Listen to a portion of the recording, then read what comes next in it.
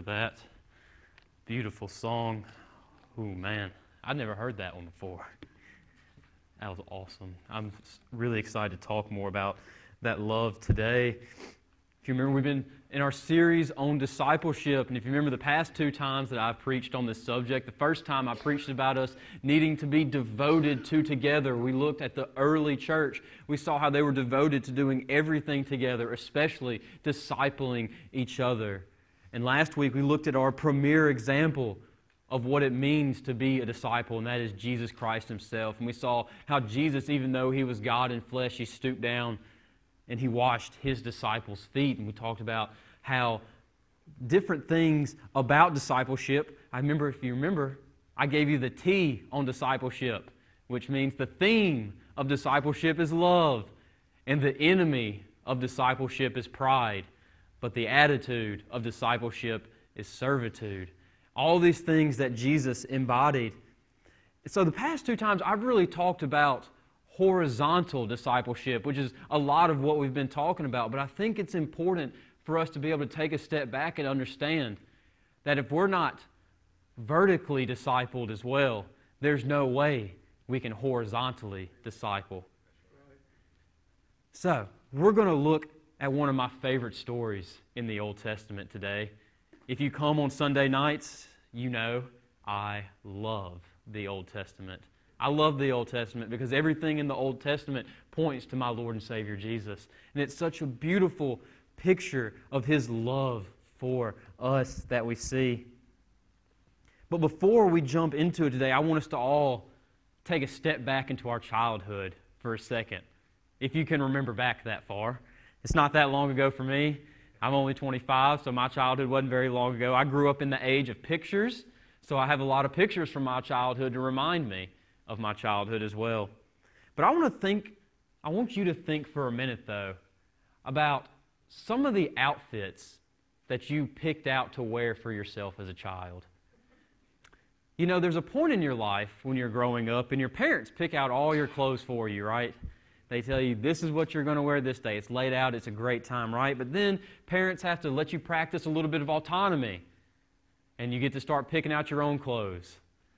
And if you know anything about children, I see Kelly smiling a little bit back there. They don't always pick out the best clothes to wear, do they? No. We don't always make good decisions. I remember, I remember seeing pictures from me during that part of my childhood. My sense of fashion isn't what it is today.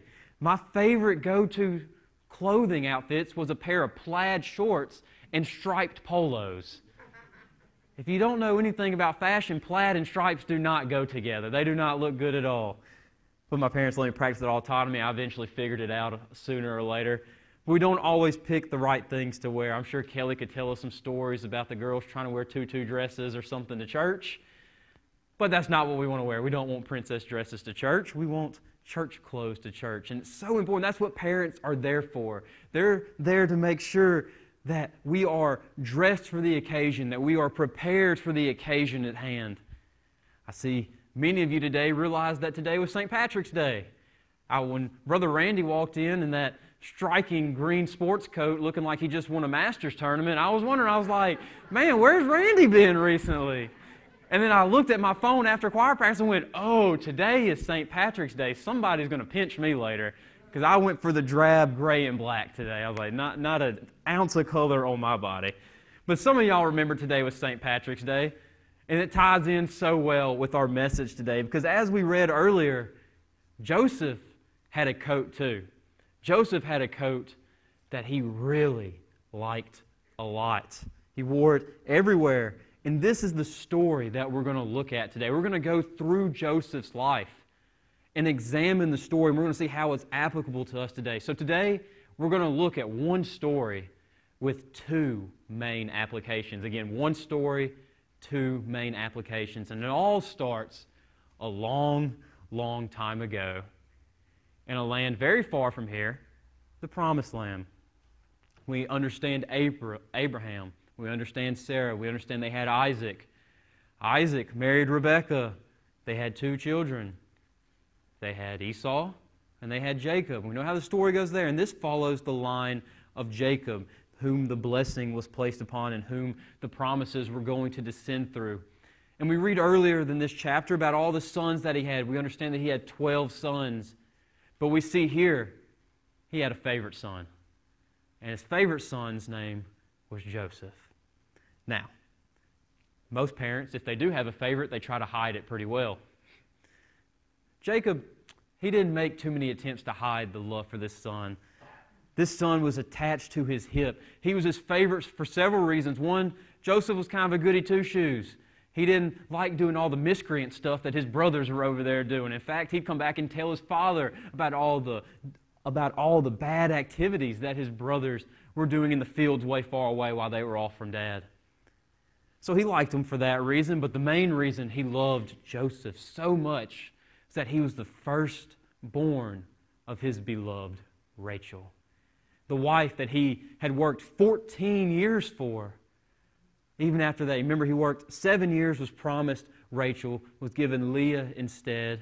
But he had worked seven more years for Rachel, and he did it with a smile on his face. The Bible tells us that it was like a passing moment for him because he loved her so much. And out of Rachel, she bore him two sons, Joseph and Benjamin.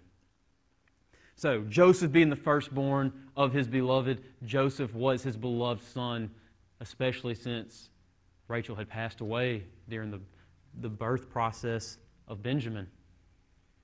So, Joseph and Benjamin were really the only remnants that he had left, and he clung on to them, and he showed his love for them, and he showed his love for Joseph, where he gave him what we call Joseph's coat of many colors.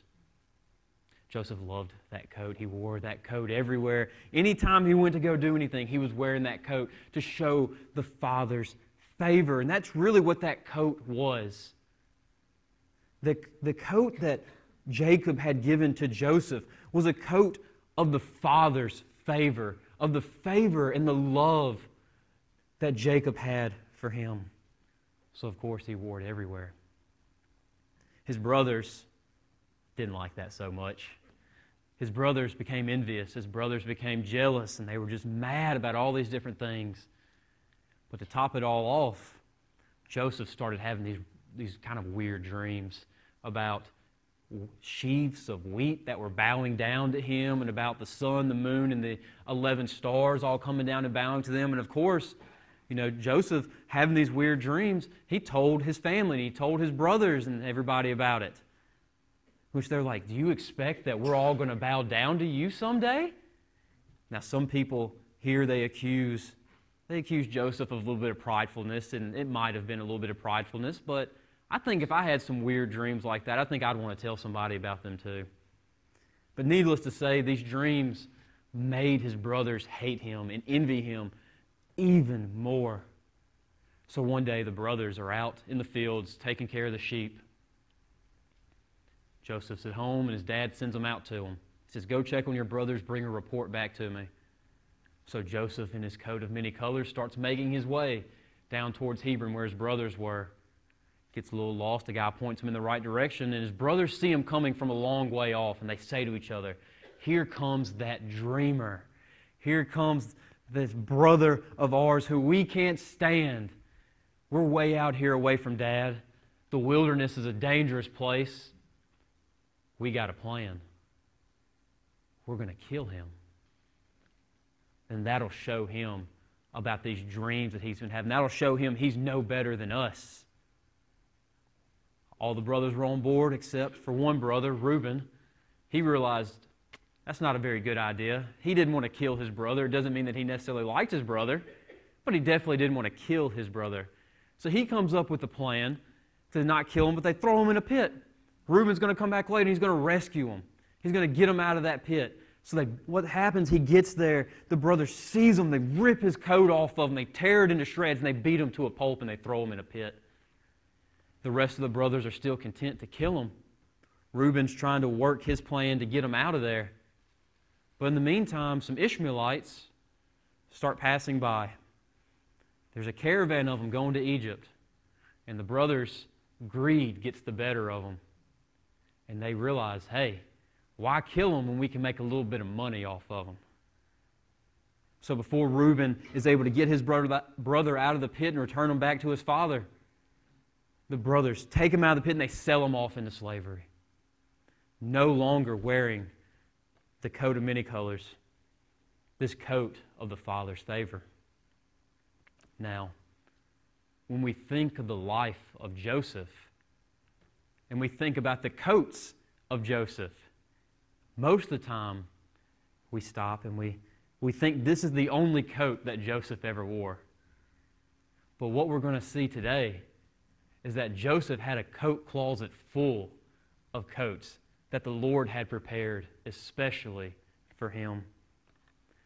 What happens next is the brothers go and they kill one of the bulls. I mean, not one of the bulls, one of the rams, the male rams.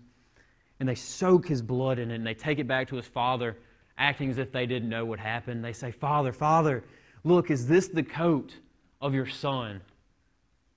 Not even to have the respect to call him his brother, their brother. But is this the coat of your son? And Jacob took that coat and he looked at it and he began to weep and he said, Yes, this is the coat of my son. And he was inconsolable for days and weeks. And he said, Surely I will grieve myself down to Sheol where my son is. And the brothers were okay with that. We'll see that over time, through the years, Jacob never really gets over it. We see later. Even after all the years later, when they make their way to Egypt, a little bit of spoiler alert, he's still not over the death of his son. And the brothers come to light, even though they're not very good people. The Lord works in them, shows them their wrongs. He breaks down their hearts to show them their error. But that's what the brothers do. They went to him. But in the meantime, we see Joseph has made his way to Egypt. He's been sold into Potiphar's house where he will wear his next coat, his coat of servitude. And shortly after he began his work within Potiphar's house, Potiphar noticed that there's something different about this young man over here. Now, Joseph wasn't very old. It tells us here he was 17 years old when all this happened. If you want a rough estimate, look at Rush back there. He's not quite 17, but he's, he's close. A young man, but he knows there's something different about this young man over here. And he knew that whatever Joseph touched, it turned into good. Whatever he touched, it prospered because the Lord was with him. So he put him as head over his household. He gave him everything in his house to look over, to where the Bible tells us that Potiphar didn't even concern himself with the things of his house because he trusted Joseph that much. So, as he's wearing this coat of faithful servitude, a temptation arises. Because although Potiphar had given him everything, he had not given him one thing which was his wife. But Potiphar's wife had eyes for Joseph, and she wanted him. And it tells us that day after day she approached him, saying, Lay with me. But Joseph would continually say, No, no, no. He, he told her, Your husband, my master, has given me everything under his house. You are the one thing he has not given me. How? could I break the trust of my master like this? But she continued, she continued, and one day she had him cornered. One day he was doing his job, faithfully serving his master Potiphar, and it came about that she was called alone with him. And she took hold of Joseph and she said, she said, Now, take me now, lay with me. And Joseph, not knowing what to do, he took off running. And she had such a tight grip on him that she tore the robe off of him and he ran away.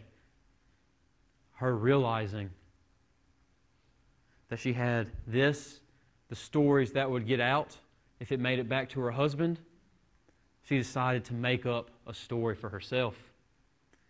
A story about how this Hebrew slave tried to take advantage of her. And she told everybody, and now the wind of this rumor, this lie, had made its way back to Potiphar, and Potiphar was understandably very, very angry.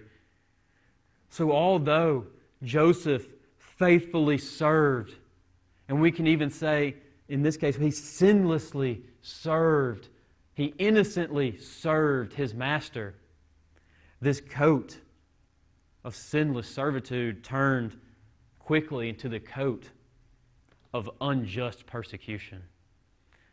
This coat of unjust, unfair condemnation that fell upon him. Because when Potiphar heard, his fury raged inside of him, and he took Joseph, he threw him deep within the cells of the jail. Now, if I were Joseph at this point, I would be asking a lot of questions. One of them would probably be God, why have you brought me all the way here? God, why have you shown me so much favor just for it to turn out like this? God, I've done everything right. I did nothing wrong, yet I'm being punished. It doesn't make sense to me. But we see that even within the jail cell, even as he was stripped of his robes of servitude, and he put on the coat of unjust persecution, that he faithfully served even in that. We see Joseph was in jail for a long time. A long time. Upwards of 10 years he was in this jail. But even while he was in the jail, he continued to faithfully serve, and God was with him, and everything he touched, even when he was in the jail, prospered. And the head over the jail noticed how everything he touched prospered. And he made him head over the jail, over, over the part of the cell that he was in, the part of the jail that he was in. So Joseph served, even faithfully through the unjust persecution. Then one day, as he's serving, two men join his company in his part of the jail the king's cupbearer and the king's baker. And they were there for various reasons. Pharaoh at the time was very upset with them for whatever reason, but he threw them deep within the jail as well. Shortly thereafter, they started having some weird dreams too. And the cupbearer started talking to Joseph, and he said, Man, can you explain what this dream means to me? There's these three branches of grapes, and I'm taking those grapes and I'm squeezing them into this cup and I'm handing it back to Pharaoh. And God allows Joseph to interpret this dream. He says, The three branches of grapes are within three days, and within three days you will be restored as the king's cupbearer. Hearing that he gave the cupbearer a pretty favorable report, the baker was like, Man, I had a weird dream too. Tell me what it means. So he goes to Joseph. And he tells him, In my dream, I have three baskets of bread on my head, but the birds are coming by and they're devouring the bread. Joseph tells him the same thing. The three baskets represent three days, and within three days, you're going to be killed. Not a very favorable report. It's important to note, though, that both these things came to pass exactly as he is interpreted within these dreams. And the one thing that he had asked the cupbearer was, whenever you get next to Pharaoh again, tell him of me and how I've been unjustly put in this situation so that he can get me out of this dungeon. Cupbearer goes and is restored. But the Bible tells us that for two years he forgot about Joseph. Now, again, if I were Joseph, I'd be asking, Lord, you've given me the ability to interpret these people's dreams. Lord, you've given me what seems like a path out of here. God, why am I still rotting away in this jail cell when I could be doing so much more for you, God? Why do you still have me here? Why have you put this man in my life who has the ability to, to spring me from this prison, yet he's forgotten about me? For Two years after this, he continued to be in that jail. Till one day, Pharaoh himself started having weird dreams about big, healthy cows. I'm a cow farmer. We like big, healthy cows. But out of the river came these seven scrawny cows. So he had seven healthy cows, seven scrawny cows, and the seven scrawny cows, they came out and they devoured the healthy ones. That's pretty strange. It's a weird dream. He had another dream, though. It wasn't just one dream, he had two dreams. The other one was a stalk that grew out of the ground with seven good ears on it. But then those seven ears withered away, and then another sprout sprung up, another shoot sprung up with seven terrible, wind beaten, sun scorched ears on it. And Pharaoh was concerned, and Pharaoh went to everybody he could, and nobody could tell Pharaoh what his dreams meant. And the cupbearer remembered there's a guy in prison who could tell me my dream. I bet you he can tell Pharaoh his dream as well. So the cupbearer tells Pharaoh, Pharaoh sees, and Pharaoh's like, I'll take help from anybody right now. So he sends his guards to go get him. And it tells us there that as they go get him, they strip off his coats of unjust persecution, his prison clothes that he was wearing. They scrub him up good, they shave him, they make him presentable, and they put on this coat of kingly approval, is what it is. The coat that he had to wear, the dress that he had to wear, the hygiene that was necessary for him to approach the king of Egypt. So they scrub him down good and they bring him before the king, and the king, Pharaoh, tells him about this dream that he had had. And Joseph tells them, King, these two dreams that you've had, they're one and the same. And here's what they mean there's going to be seven good years of plenty. But after those seven good years, there's going to be seven years of famine. So Joseph gives him the plan. Take a step back. Pharaoh wanted Joseph to give him. It's also important to note that Joseph stood on his faith, showing what a man of faith he was. He said, I cannot give it to you, but God can give it to you. Pretty important point of the story right there. Don't want to miss that part. But he tells them his dreams, he gives them the plan, and Pharaoh takes off his coat of kingly approval and gives him something even better, and that's the coat of the king himself. He takes off his signet ring that he used to seal everything, and he puts it on Joseph's finger. And he told him, Nobody in the kingdom is above you except for me now. You are second in the kingdom. As you have done, go and do. And because of Joseph's faithfulness, we'll read later that everybody was saved through the famine because of his actions. So he took off the coat of kingly approval, he put on the coat of the king, which is really a coat of salvation for all, is what it is. There's the one story. Now, the story has two main applications to it. If you don't get the first application, don't even worry about the second application because the first application means everything. As I said earlier, I love the Old Testament because everything points to Jesus. And it's important to understand types in the Old Testament about how things are reflected of Jesus, which is later to come. But the story of Joseph, Joseph himself is the premier type of the suffering servant in the Old Testament. As we know, Jesus Christ is, was the suffering servant who came to suffer for our sins the Jewish rabbis understood that this was messianic as well.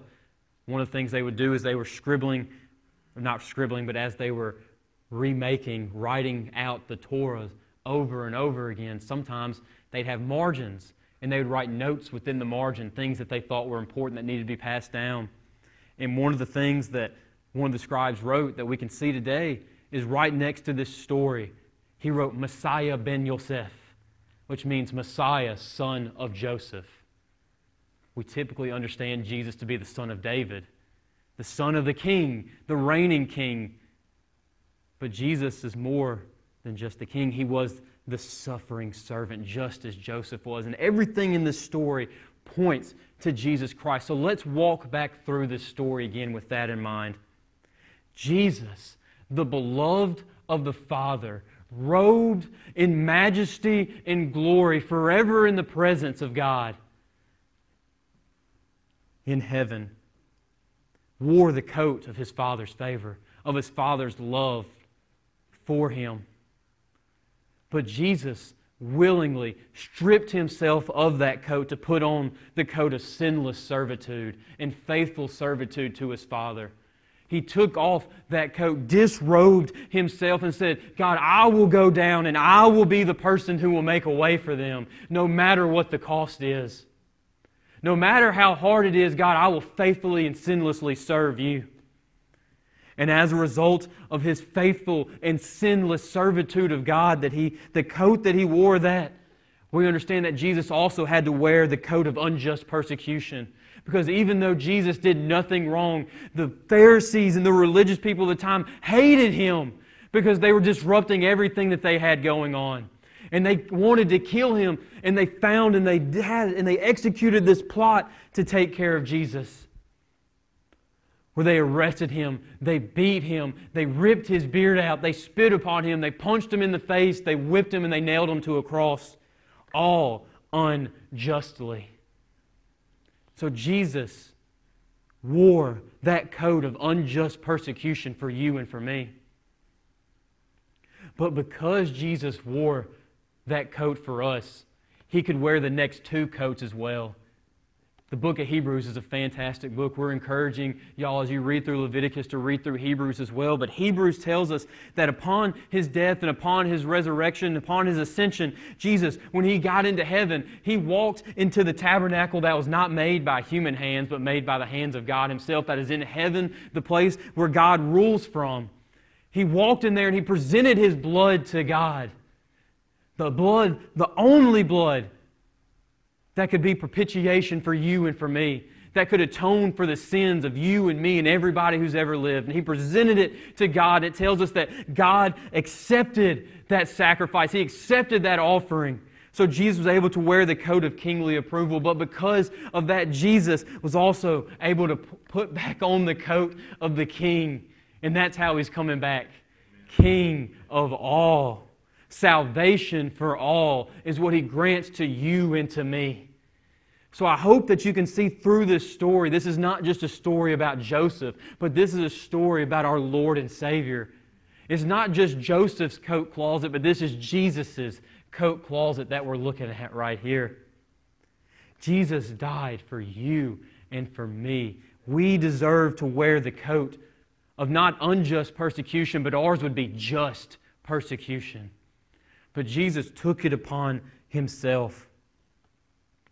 The first step to being a disciple of Jesus is recognizing Jesus as your Lord and Jesus as your Savior, which means you recognize Him as master of your life and as Savior of your life. Three simple steps that we say you have to confess your sins to the Lord, you have to repent of your sins, place your faith in Him, and the hardest part is surrender your life to Him as Lord and Savior. Like I said earlier, if you don't get this part, the, the rest of it doesn't even matter. And I hope that if you're here today and you've never accepted Jesus as your Lord and Savior, that today will be the day that you will. Jesus suffered for you and for me. Took the punishment that we deserve so that we could have salvation. We have this free gift. That's the first application. The second application is this. Many times in life, we think that we can choose the coats that we get to wear at any point in time. We think that we're able to control our lives. We think that we're able to control our circumstances. We think we're able to control the world around us. If we were Joseph in this story, nobody would have given up the coat of many colors. Nobody would have given up the coat of the Father's love because that was a safe place. That was a good place to be. But what we notice in this story is that if Joseph wouldn't have wore those other coats, if Joseph wouldn't have went through those trials and persecutions, if he wouldn't have suffered through that, there wouldn't have been salvation for everybody. Thousands upon thousands upon thousands of people would have starved to death in that famine if it weren't for Joseph. If Joseph wasn't a faithful servant throughout his life, throughout his circumstances, throughout whatever position that God had put him in, there would never have been salvation for all. I think that's something of the utmost importance for us to remember in our lives today. Trust me, I like simple, I like easy, I like comfortable just as much as anybody else. And I'm not saying I'm perfect in this by any means, but it's something I strive for, and that is faithfulness despite the circumstances. I'm sure if all of us think about our life and we think back on all the deep waters that we've tread through, none of us would have chosen to go through those deep waters, would we? But what happened on the other side of those trials? What happened on the other side of those tribulations? How many people have we impacted in our lives by our witness through those trials and by our faithfulness through the end of it? See, if we want to be a good disciple of our Lord Jesus Christ, we have to be faithful despite the circumstances. I was telling some people earlier, God hit me really hard with this last night. Kristen was there. She knows about 8 o'clock last night, I had the most severe pain I've ever felt in my entire life. Start right here in my lower back on my right side. Went on for hours, all through the night. Pretty sure it was a kidney stone moving at this point. But I laid there last night in excruciating pain. I'm like, Lord, I'm supposed to preach tomorrow. God, what is happening to me right now? I'm not going to lie. I wanted to call Sam and tell him, Sam, there ain't no way, man. Sam, there's no way I can make this. Instead, I was like, all right, here's what we're going to do. Because I knew my I knew my passage. I knew what I was going to be preaching on today. And it just kept ringing through my head. It was like, despite the circumstances, despite the circumstances, despite the circumstances. And I was like, all right, we're just going to pray. And I'm like, Lord, if you want me to preach tomorrow, Lord, I pray that you'll take this pain away and that when I get up in the morning, I'll be able to function. I was like, if you want to put me back through pain after that, Lord, that's okay, cool, whatever. But Lord, just let me be able to serve. I can't tell you what time I went to sleep last night. It was a long time. I kept Kristen up most of the night, hollering and yelling. And at one point, I woke her up. It was 12 o'clock, 1 o'clock, somewhere close. I was like, if this doesn't get any better, we're going to the hospital. But despite that, the Lord was faithful through that. As we sung about this morning, great is thy faithfulness. The Lord is always faithful to our calls. It's a matter of we're going to be faithful back as well. So, in our vertical discipleship, we have to be committed to faithfulness to our Lord and Savior despite the circumstances. So, as we have our time of invitation here, you know, as I mentioned earlier in the first point of application, if you've never made the decision in your life to follow Jesus, to recognize Him as Lord and Savior, today is the day. Salvation is a free gift that was bought at a heavy price for you and for me.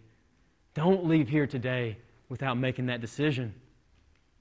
But if you're here today and you know that you're a follower, but you're walking through deep waters right now, you're going through hard times, you're struggling with faithfulness, bring that to the Lord today. One thing the Lord is good at doing, He can increase our faith at the snap of His fingers. I know I've needed help with that so many times in my life. So respond to how the Lord is moving in your heart today. Don't sit there if the Lord is stirring. Be faithful despite the circumstances. If you all stand, we'll pray and then we'll have our invitation. Dear God, Lord, we are thankful, Lord, for your faithfulness to us. God, we are thankful that you never leave nor forsake us, God. But Lord, I pray that you'll make us into a church of people who are faithful despite the circumstances, people who are ready to take on whatever coat that you would have us wear at any particular time in our life. God, help us to be willing to step out of our comfort zones, God. Lord, to be and to step into the roles that you want us to have. God, Help us to be better disciples of your Son, Jesus. It's in his name we pray. Amen.